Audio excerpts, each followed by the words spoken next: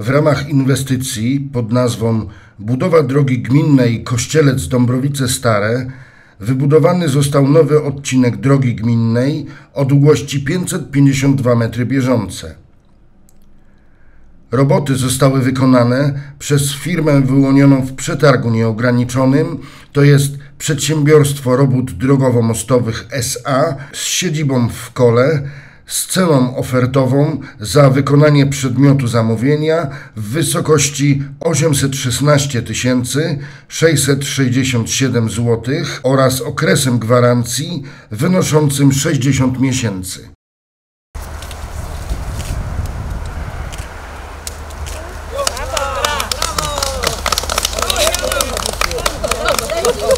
Dziękujemy!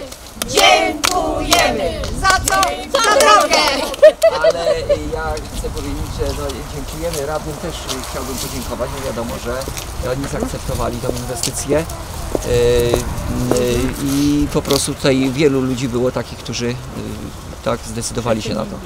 Yy, W ogóle jeżeli chodzi o tą drogę, to jest ona bardzo istotna i ważna. Jak sami widzicie, z uwagi na to, że połączenie jest, jest to połączenie z Kościelcem. I, i y, musieliśmy skorzystać ze spec ustawy, żeby y, mieć, y, żeby otrzymać ten grunt, tak, żebyśmy mogli wykupić ten grunt. I same wykupy kosztowały nas aż 115 tysięcy, same wykupy, szanowni państwo. Poza tym pozyskaliśmy środki z Narodowego Funduszu Rozwoju Dróg i tutaj oczywiście podziękowania olbrzymie też dla posła Leszka Galemby, który nam w tym pomógł. I, i to, to było bardzo ważne. Ta droga jest naprawdę y, dobrze wybudowana, na dobrych zasadach i, i myślę, że ona będzie długo, długo służyła tutaj mieszkańcom. A to, co wcześniej powiedzieliśmy, no jest to połączenie, y, połączenie y, Dąbrowic z Kościelcem, ale będą korzystali również z innych miejscowości. Y, I, i sądzę, że, że, że społeczeństwo będzie zadowolone. To jest najważniejsze dla nas. Tak. Y, Wiedziałem, od samego początku wiedziałem, że nie będzie to tak szybko, zresztą kiedyś na zebraniu też Wam mówiłem, że to potrwa kilka lat. Y, Te działania były już wcześniej prowadzone, trudno było się z nadleśnictwem y, dogadać, porozumieć. No, a teraz no, mamy finał tej sprawy cieszymy się wszyscy. No i piękna.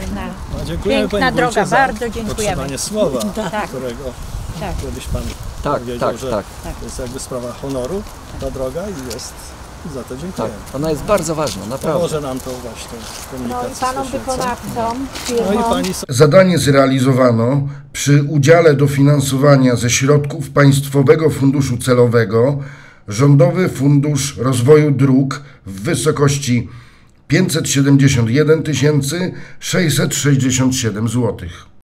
Zezwolenie na realizację inwestycji zostało uzyskane w ramach ustawy o szczegółowych zasadach przygotowania i realizacji inwestycji w zakresie dróg publicznych, tzw.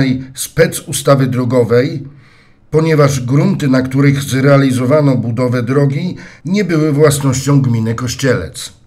W związku z powyższym gmina Kościelec w zamian za przejęty grunt poniosła koszty odszkodowań w wysokości 108 900 zł na rzecz Państwowego Gospodarstwa Leśnego Lasy Państwowe oraz w wysokości 6150 zł na rzecz osób prywatnych.